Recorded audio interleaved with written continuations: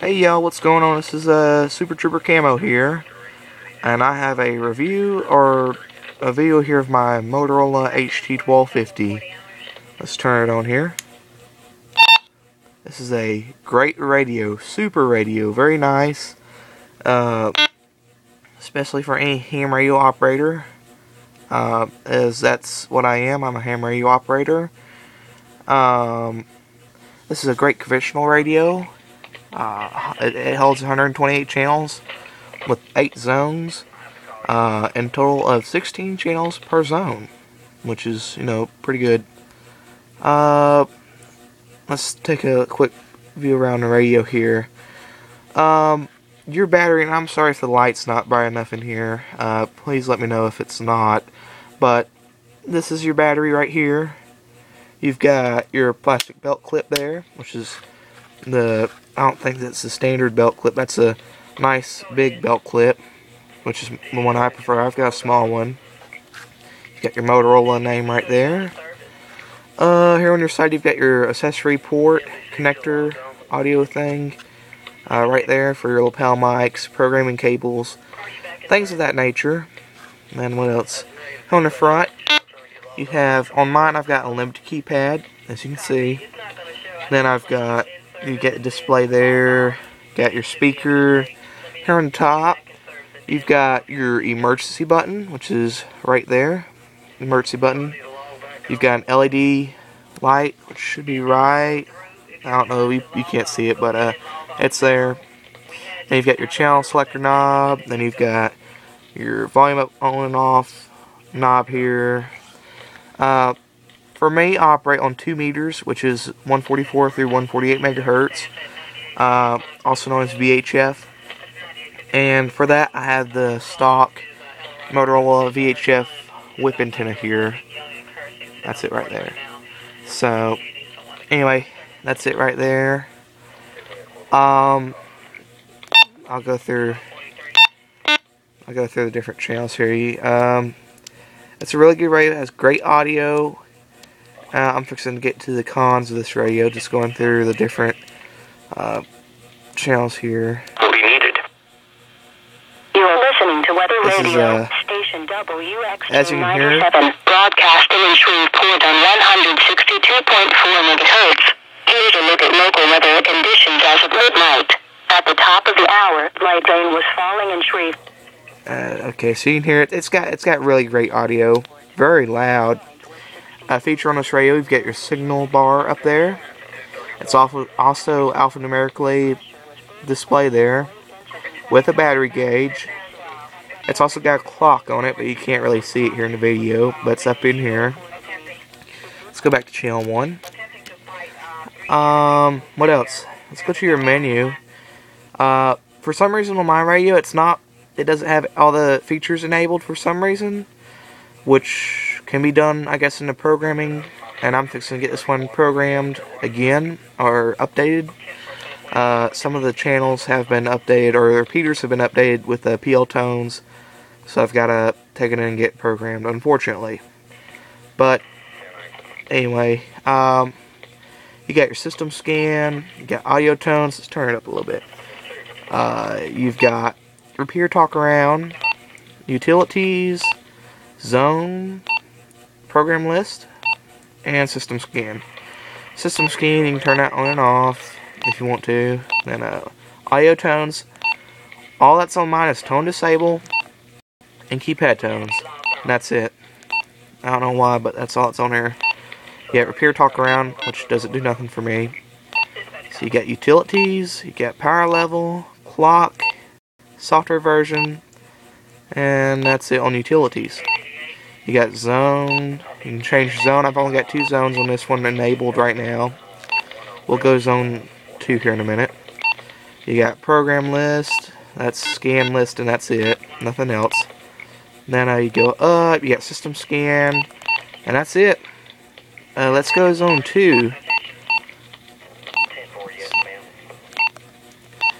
Um, not only, I've also got, um, for scanning, I have the uh, local fire department uh, VHF analog frequencies, which I'll show you here. I have it set not to transmit. It will not transmit, which is good, of course. Uh, we'll go through different channels here. Um, it's a really nice radio, uh, as I've said before. And of course, that's all programmed, which I'm fixing to get all that, like I said, programmed up and uh, some stuff updated. But I also use this as, as a scanner. Um, I like monitoring the fire and police department, which is why I've got this one programmed with the fire and police receive only frequencies. So we'll go back to zone one. Okay, so uh, we'll go to the pros and cons of this radio before I stop the video. Um, pros about this radio: it's not too heavy, not too light. It's fits just about in the palm of your hand. It's this is a straight analog uh, HT1250. You can get them an LS an LS Plus, which is a I think it's a trunking capable radio. Uh, this radio you can get multiple accessories for it. It's very heavy duty. I live and work here on a farm, and uh, I've dropped this radio multiple times uh, in the mud. I've dropped it everywhere. Uh, I've dropped it on tile and uh, I've dropped it on tile floors. I've dropped it on concrete floors. I've dropped it in the dirt. I've dropped it everywhere, and every single time, it does not fail to you know work. Um, so I definitely suggest it for a volunteer firefighter or any, anything industrial.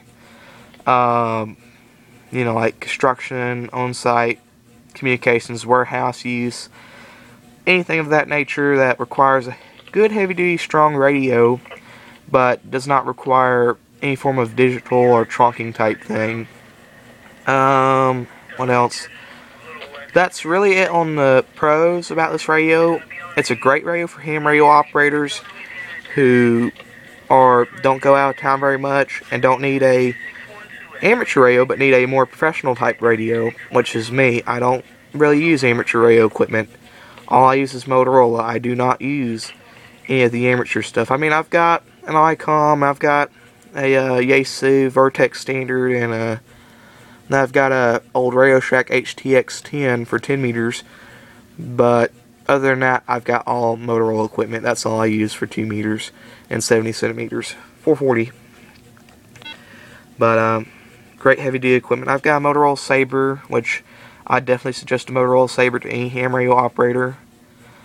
Um, anyway, the cons about this radio.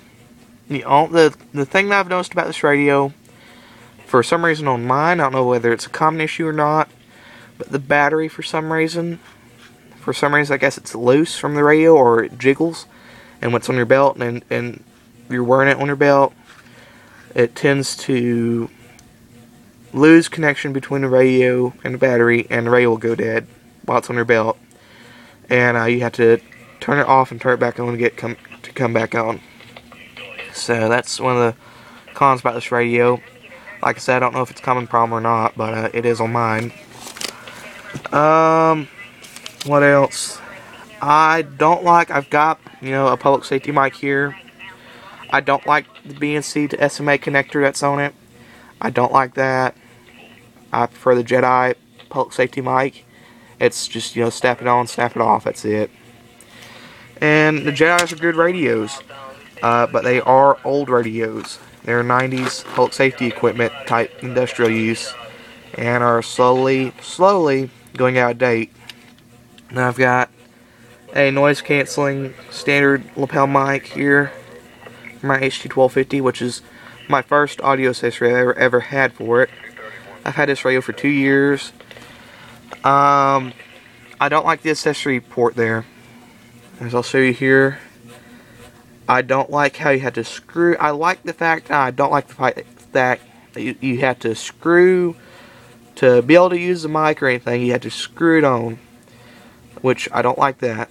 I like to be able to on the fly, you know, real quick, take accessory off and uh, put another one on. But uh, I don't know. I mean, I, I, I, I like the fact that you can't just accidentally rip it off or something And with amateur equipment, you can accidentally take the mics off and stuff like that. And uh, on the Jedi mics, you can you have the option to screw them in, but you can leave them uh, just regular clip on, clip off, which is why I like to. I don't know about y'all, but I like it. Um, another thing, the carry cases for these radios, they're not very uh, top quality. The leather carry cases they have available for this radio, I've had several uh, direct, directly from Motorola, and for some reason they just don't last very long for me. I don't know why, but they don't. And uh, what else? Um, I prefer the nylon carry case for this radio. It just works better. But uh, anyway, uh, I'm trying to think of anything else. Um, I'll just show you some of the programmable buttons here. Uh, you've got your emergency button, which is disabled. Uh, a con about that is I don't like how it's a little hard to get to. And then uh, you got your squelch here at the top. I've got program for squelch. That opens up the squelch here. Let's see if you can, you can hear it. Then uh, you got the scan button. Turn scan on. Press it again, it turns scan off. And when scan's on, the LED lights up green. Turn it off, it turns off. You got your peer talk around button, which as said before, don't do nothing. So, um, recommendations for this radios and uh, for this radio. Volunteer firefighter, ham radio operator, industrial, construction, on-site communications. I definitely recommend this radio for that. Uh, for professional firefighting, police department, no, I would not. It's just it, it's a conventional radio, and every everybody unfortunately is going to digital APCO, which I don't like. I hate it, but you know, it's moving with the time and everything. Uh, is an MTS 2000 better than this radio?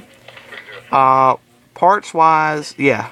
Or no, parts wise, this radio is better than MTS. You can't find as many parts for an MTS because they're getting older.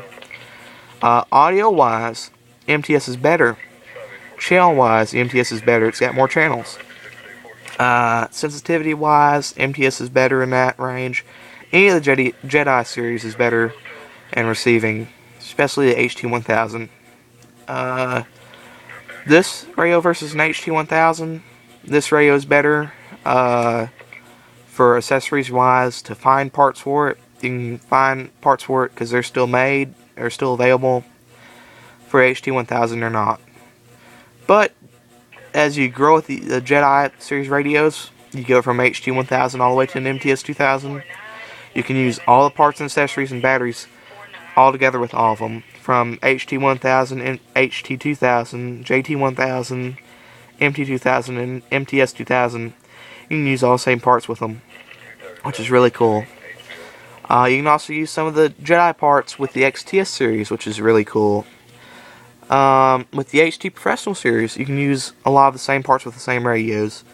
Uh, you can use the same mics for the HT Professional series with all the uh, HT 750s, the HT uh, 1550s, I think. Uh, I don't know about the batteries with the HT 1550. I don't think you can use the same batteries with the HT 1550, which is, you know, HT 1550s. 1550 is a bigger radio on this one here. Um, would I suggest this over an HT 750? Yeah. If you if you want a radio that's got more than 16 channels, then you'd go with an HT 1250 here or MTS 2000. Uh, what else? The HT 750 versus an HT 1000. HT 1000 is better durability wise and um, audio wise. Uh, parts wise and availability wise, HT 750 is better. So, y'all be the judge on that, on what you want to buy, but it's just my suggestion that the HT 1250 is a little bit better. Now, I'm not knocking the HT, or not, I'm not knocking the uh, XTS 3000, the XTS 5000, the XTS 2500. They're way better than this radio here, or I would consider them better. I've handled them before, and they're really great radios. Uh, we've had them get, you know, sinking ground.